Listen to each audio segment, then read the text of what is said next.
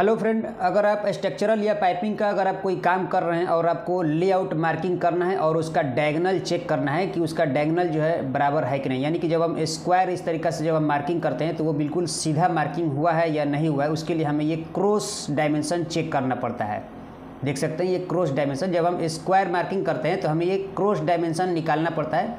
तो आपको क्या करना है कि अगर जितना भी डायमेंशन का स्क्वायर डायमेंशन मार्किंग करना है तो आपको एक अंदाज़ा लेना है कि आपका कितना बाई कितने का स्क्वायर डायमेंशन है। जैसे मान लीजिए 300 बाई 400 का स्क्वायर डायमेंशन मार्किंग करना है, या फिर आप तीन मीटर बाई चार मीटर का भी इसमें स्क्वायर मार्किंग कर सकते हैं। जैसे तीन लिखा गया है तो इसमें ज़ीरो बढ़ा देना है। चार में ज़ीरो बढ़ा देना है और पाँच में उतना ही ज़ीरो बढ़ा देना है। उतना ही इसका आंसर रहेगा। जैसे मान लीजिए कि ये डायमेंशन है इधर का तीन मीटर। इधर का हम तीन मीटर एक मार्किंग कर दिए तो इधर का डायमेंशन रहेगा चार मीटर और इसका आंसर जो डायमेंशन रहेगा वो पाँच मीटर डायमेंशन रहेगा। इसका जो डायगनल जो रहेगा वो पाँच मीटर आना चाहिए।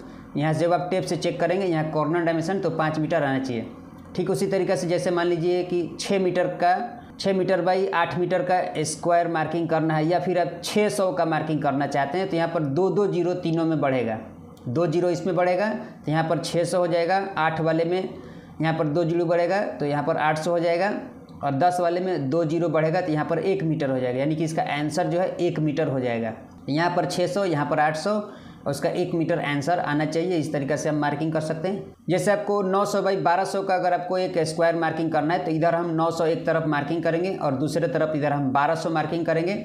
और ये जो तीसरा जो है डायंगल जो डायमेंशन है, वो 1500 सौ mm आना चाहिए। ऐसे आप जब चेक करेंगे इसका तो ये 1500 पर इसका सीधा लाइन यहाँ पर आएगा। तो इस तरीक़ा से इसका बिल्कुल आसान ये जो चार्ट हमने बनाया है, इस चार्ट को आपको नोट कर लेना है अपने डायरी में और इस तरीक़ा से आप किसी भी लेआउट का आप डायंगल निकाल सकते हैं या फिर आप स्क्वायर मार्किंग कर सकते हैं इस तरीक़ा से, बिल्कुल आसान तरीक़ा से। ये जितना भी डायमेंशन दिया गया है, सब में ज़ीरो बढ़ा देना है। जैसे मान लीजिए पंद्रह सौ बाई दो मीटर का चाहिए तो आप यहाँ पर पंद्रह लिख करके सिर्फ़ दो ज़ीरो बढ़ा देंगे तो वो पंद्रह सौ हो जाएगा। यहाँ पर बीस लिख करके उसमें दो ज़ीरो बढ़ा देंगे तो वो दो मीटर हो जाएगा।